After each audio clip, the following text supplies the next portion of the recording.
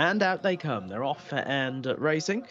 And in the early stages, it's going to be Rajat Allah who moves on into the lead and moves away by around about uh, two lengths or so. But uh, now being followed towards the outside by Ajiad, who breezes up into a length second. Back in third is Israj in the green colours over towards the inside.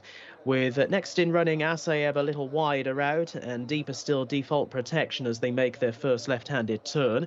Precisely runs the rails in red colours being tracked through by Daklat Nora, same jacket but a white cap.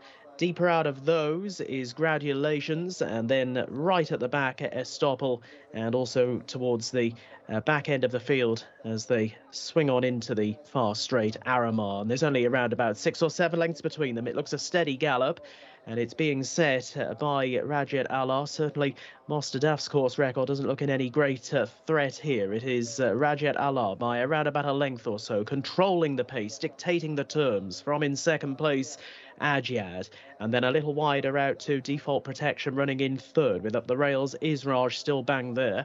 A length and a half back off that one is precisely. Now the tempo just beginning to rise ever so slightly. Aramar creeping a bit closer. Estopol up around the wide outside. Asayev just dropping back a bit. Gradulations along the inner still moves with purpose and three lengths back to Daklat Nora. They're on the home turn. About three furlongs left to go from here.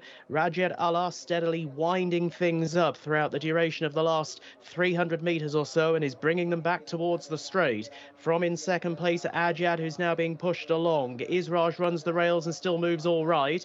They are two lengths away from precisely in fourth. Next in running, Aramar, but they're homeward bound. Less than 400 to run. And it is Rajat Allah now being cut down by Israj, who's launching a strong attack. And Israj goes on under Alexis Moreno.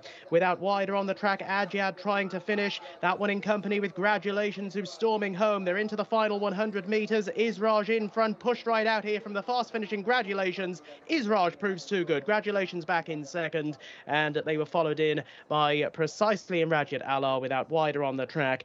Ajad, it's gone to Israj. Uh, Moreno maybe just getting a first run there on uh, Gradulations, who's done really well in uh, getting uh,